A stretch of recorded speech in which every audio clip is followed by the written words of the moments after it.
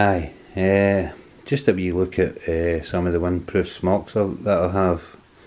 Uh, I usually wear these when I go bike touring, bike camping and they're far better than anything you can buy to do with cycling. The cycling stuff's just for racers really. For bike touring you need to wear some proper gear. So my third place choice would be this 85 pattern uh, British Army smock. It's just a, your regular 85 pattern but I've put on a 68 pattern hood on it and that is a great jacket uh, for stopping the wind. Keeps you nice and warm when you're out in a kind of cold windy day uh, the next jacket would be the 94 pattern smock. Now I really like this smock. Uh, it's got great water repellency uh, features. It's very very windproof and it's just so comfortable to wear. It's it's a different cut for the the 85 pattern. It's more a roomy cut, uh, and it's great. It's great for stopping the wind. So that's a recommended one. And I suppose my favourite would be my homemade smock. That's a made out of a cotton gabardine. That's excellent for keeping out the wind. I think it's slightly warmer than these other two.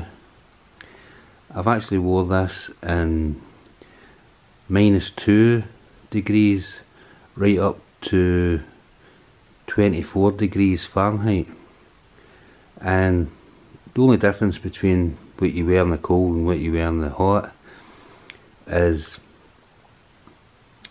uh, the amount of stuff you put under it. So if it's a warm day you wear a t-shirt under it and if it's a cold day you wear a base layer and a mid layer under it uh, another thing about these coats, just for instance, you didn't have a waterproof uh, and you get caught out in the rain. It depends what you wear under them. If you wear a wool, a nice thin wool layer as a base layer and a wool jumper as a mid layer and you wear one of these windproofs and you get soaked, well, the windproof's still going to keep the wind out and the wool is still going to keep you warm even if it's wet. So you'll be okay. You will survive and you'll survive quite comfortably. But I always re recommend that you take a good waterproof with you.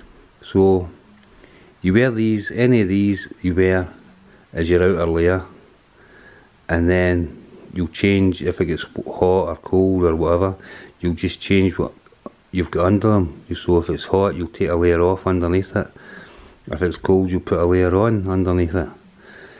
And then you, you've got your waterproof layer for when it rains to keep everything dry. So on a bike touring trip or a bike camping trip or any outdoor sort of a trip, I do, I do recommend uh, a good windproof whether you make your own or you buy a an army one it's probably the cheapest method. However if you were to buy a windproof of this quality from a big name manufacturer you would pay a hell of a lot of money for it. So it's a cheap way of doing it and it's probably one of the best ways of doing it so, whenever you go camping, take the right gear. Thank you.